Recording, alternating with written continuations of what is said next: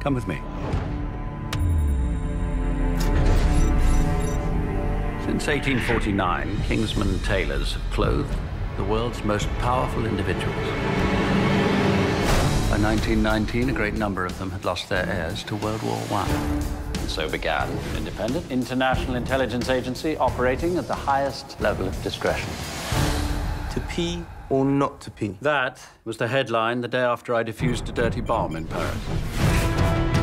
My first mission foiled the assassination of Margaret Thatcher, Germany 1, England 5. breaking up an undercover spy ring at the Pentagon.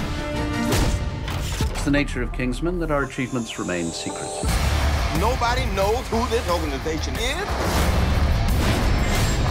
The Kingsmen are the new knights. Mankind is the virus, and I'm the cure. Assemble the Kingsmen.